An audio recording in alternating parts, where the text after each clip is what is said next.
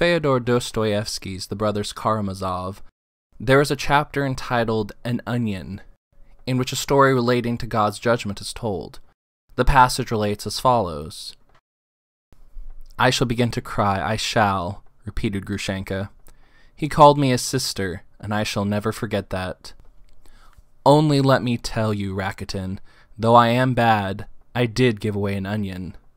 An onion? Hang it all, you really are crazy. Rakitin wondered at their enthusiasm. He was aggrieved and annoyed, though he might have reflected that each of them was just passing through a spiritual crisis, such as does not come often in a lifetime. But though Rakitin was very sensitive about everything that concerned himself, he was very obtuse in regards the feelings and sensations of others, partly from his youth and inexperience, partly from his intense egoism. You see, Alyosha, Grushenka turned to him with a nervous laugh. I was boasting when I told Rakitin I had given away an onion. But it's not to boast I tell you about it. It's only a story, but it's a nice story. I used to hear it when I was a child from Matryona, my cook, who is still with me. It's like this. Once upon a time there was a peasant woman, and a very wicked woman she was. And she died and did not leave a single good deed behind. The devils caught her and plunged her into the lake of fire. So her guardian angel stood and wondered what good deed of hers he could remember to tell God. She once pulled up an onion in her garden, said he, and gave it to a beggar woman. And God answered, You take that onion then, hold it out to her in the lake, and let her take hold and be pulled out. And if you can pull her out of the lake, let her come to paradise. But if the onion breaks, then the woman must stay where she is. The angel ran to the woman and held out the onion to her. Come, said he, catch hold, and I'll pull you out. And he began cautiously pulling her out. He had just pulled her right out when the other sinners in the lake, seeing how she was being drawn out, began catching hold of her so as to be pulled out with her. But she was a very wicked woman, and she began kicking them. I'm to be pulled out, not you. It's my onion, not yours. As soon as she had said that, the onion broke, and the woman fell into the lake, and she is burning there to this day. So the angel wept and went away. So that's the story, Alyosha. I know it by heart, for I am that wicked woman myself. I boasted to Rakitin that I had given away an onion, but to you I'll say, I've done nothing but give away one onion all my life. And that's the only good deed I've done. So don't praise me, Alyosha. Don't think me good. I am bad. I am a wicked woman, and you make me ashamed if you praise me.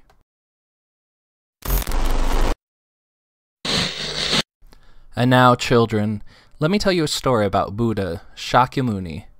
It so happens that one day the Lord Buddha was strolling alone in paradise. All the lotus blossoms blooming in the pond were like perfect white pearls and from their golden centers wafted forth a never ending fragrance, wonderful beyond description. Day was just dawning in paradise. In due time, the Buddha stepped to the edge of the pond and beheld an unexpected sight through the spreading lotus leaves veiling the water's surface. Directly beneath the lotus pond of paradise lay the lower depths of hell, and as he peered through the crystalline waters, he could see the river of three crossings and the mountain of needles, clearly as if he were viewing picture slides through a projector. His gaze came to rest upon the single figure of a man named Kandata, writhing in the depths of hell along with the other sinners. This great robber had done many evil things, a murderer and an arsonist, with numerous robberies to his credit, Yet it seemed that Kandata had performed a single good deed. Passing through the middle of a dense forest one day, he noticed a tiny spider creeping along the roadside. Thereupon he immediately thought to trample it to death. But as he raised his foot, he suddenly reconsidered, saying, No, no. Small though this spider may be, it too is a living creature. Somehow or another, it seemed a shame, too cruel, to take its life without reason. And so he spared the spider, and let it pass unharmed. Now, as he observed the situation in hell, the Buddha recalled that this Kandata had spared the spider, and decided, in return for having done just that one good deed, he would reward him for it by rescuing him from hell, if at all possible. By lucky chance, he turned to see a spider of paradise spinning a beautiful silver thread atop a lotus leaf, the color of shimmering jade. Gently lifting the spider's thread into his hand, he lowered it straight down through the pure white pearl like lotus blossoms into the distant depths of hell below. Here, in the lake of blood, in the depths of the lowest hell, with the other sinners, Kandata endlessly floated up to the surface and sunk back down again, again, and again. Wherever one looked, there was only a pitch black darkness, and when a faint shape did pierce the shadows, it was the glint of a needle of that dread mountain of needles, which only heightened the sense of doom and helplessness. All was silent as the grave, and when a faint sound did break the silence, it was only the feeble sigh of some sinner. Those who had fallen this far had been so worn down by their tortures of the other hells that they no longer had the strength to even cry out. Great robber though he was, Kandata could only writhe about like a frog caught in the throes of death, and he choked on the blood of that lake. And then, children, what do you think happened next? Yes, indeed. One day, raising his head, Kandata chanced to look up toward the sky above the lake of blood, and saw the gleaming silver spider thread, slender and delicate, slipping stealthily down through the silent darkness from the distant firmament, as though afraid to be seen by the eyes of men coming straight for him. Kandata clapped his hands in joy. If only he were to cling to that thread and climb up and up, he would surely be able to escape from hell, and perhaps even enter paradise. Then he would never again be driven up the mountain of needles, or plunge down into the lake of blood again. Having this thought no sooner crossed his mind, Kandata grasped the spider's thread with both hands, and started climbing up with all his might, higher and higher, as a former master thief, Kandata had plenty of experience at this kind of hand over hand rope climbing. However, the distance between heaven and hell are untold thousands of leagues apart, so it was not easy, even for a man like Kandata to escape, though try as he might. As soon as he began to tire and couldn't raise his arm for even one more pull of the thread, having no other choice, he had to stop for a short rest. As he clung to that spider's thread, he looked down far below. At that moment, he realized that all his climbing had been worth the effort. The lake of blood was now already hidden in the depths of the darkness. Even the dull glint of the terrifying mountain of needles was far below his feet. If he were to continue at this pace, it might not be as difficult as he had imagined to climb his way out of hell. Twining his hand in the spider thread, Kandata laughed in a way he had not in all the years he had been in hell. I've done it. I'm saved at last. And then what do you think he saw? Far down below on that spider's thread, a countless number of sinners had followed after him, clambering and climbing up like a column of ants. The sight struck and froze Kandata with such shock and fear that his mouth gaped open and his eyes rolled about in his head like an idiot. The slim spider's thread strained and seemed like it would snap from his weight alone.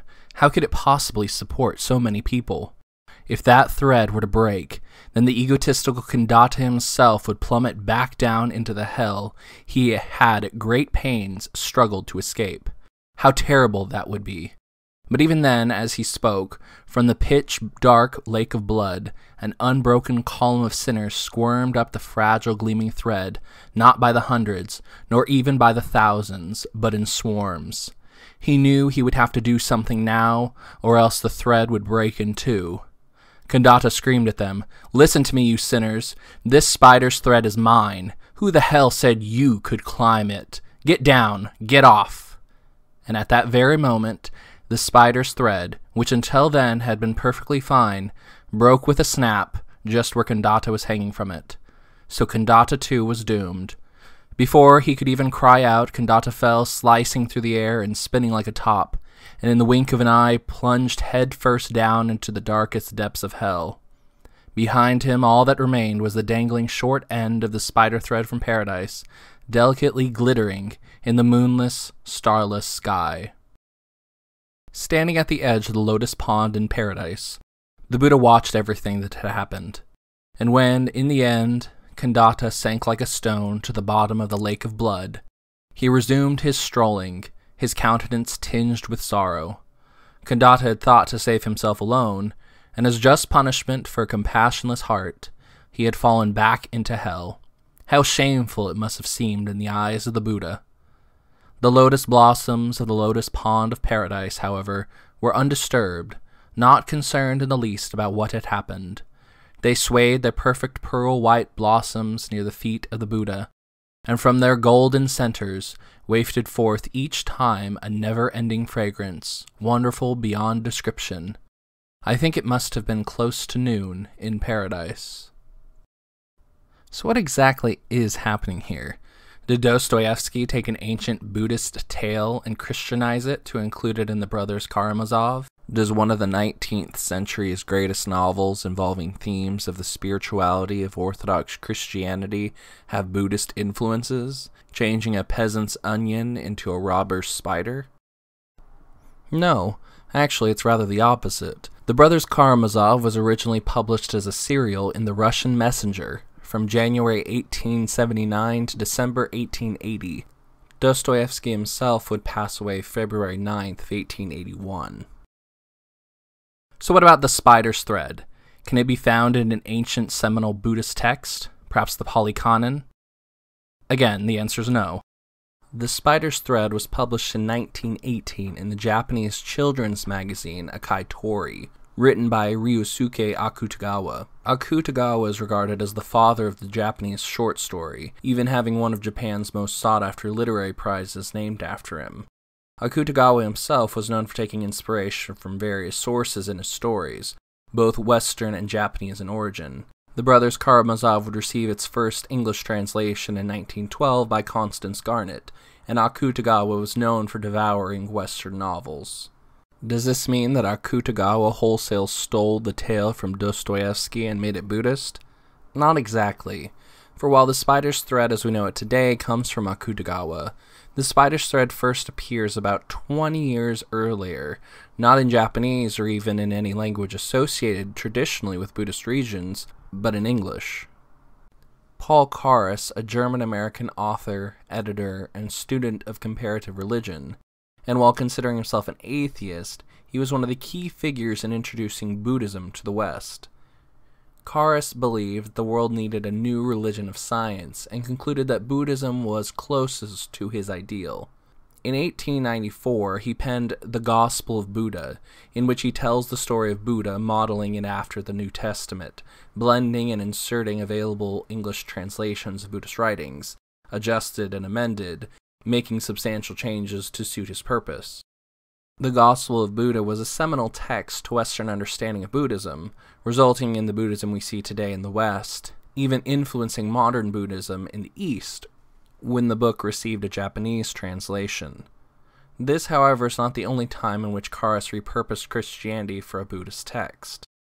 In 1887, published in a journal called The Open Court, in which he was the managing editor, Carus wrote a story titled The Spider Web. The spider web would later be included in his 1894 book Karma, A Story of Early Buddhism. Karma would receive Japanese translation in 1895, 1896, and 1903, where we see Akutagawa found and adapted the story into the one we know today, as early 20th century Japan cared little about copyright or intellectual property ownership, especially when it came to translations.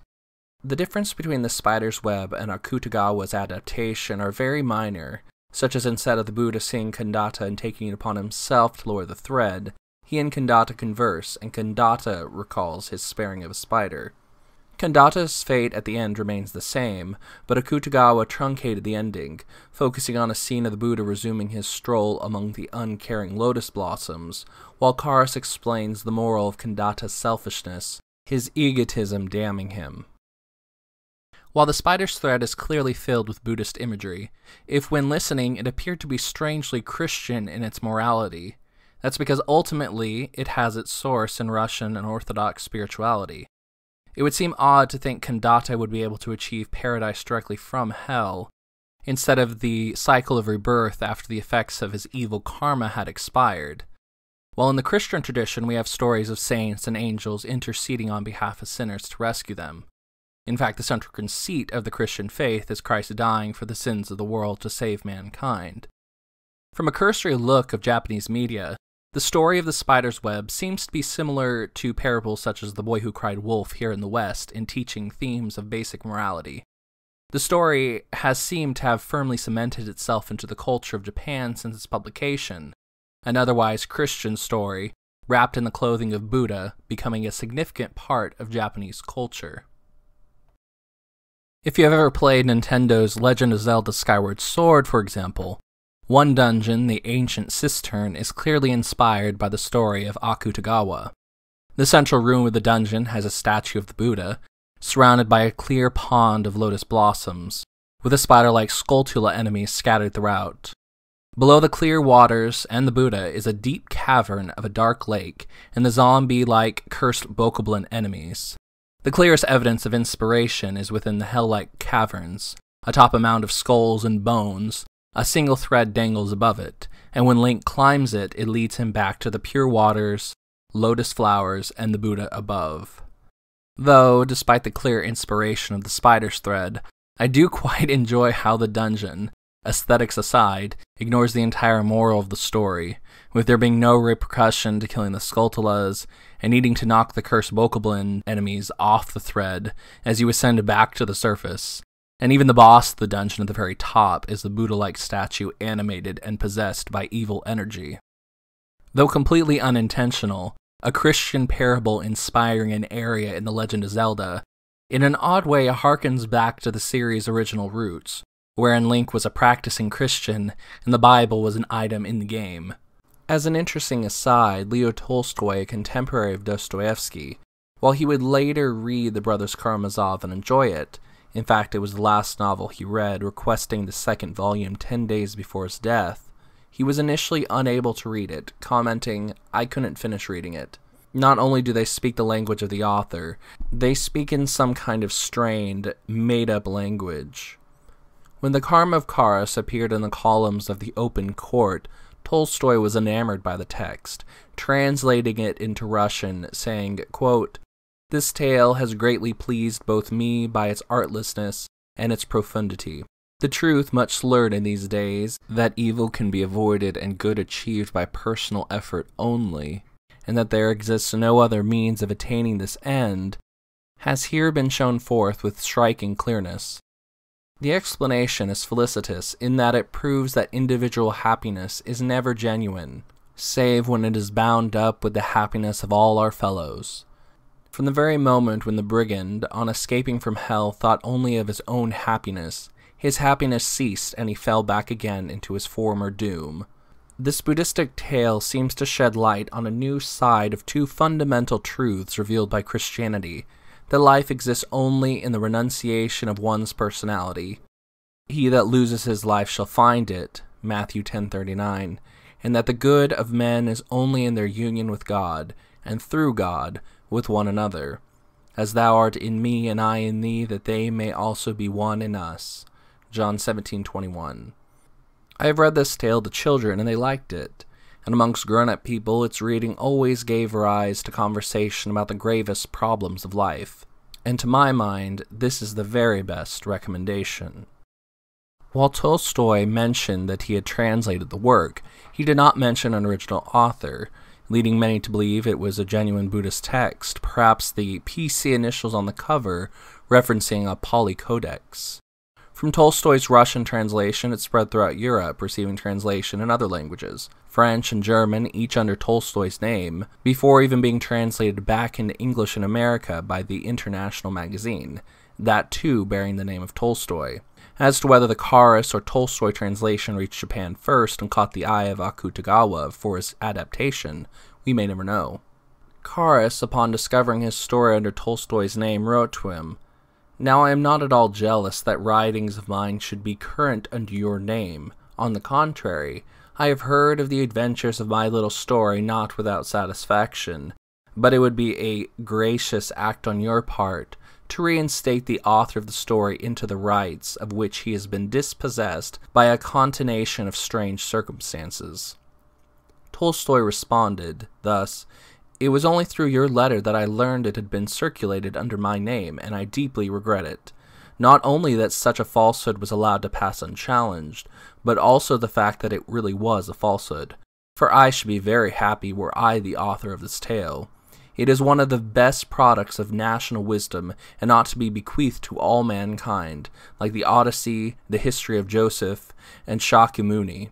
When Tolstoy inquired into the origins of the story, Carus replied with, I wish to say that the story Karma originated in my mind while I was compiling the Gospel of Buddha from the various sources of Buddhist literature.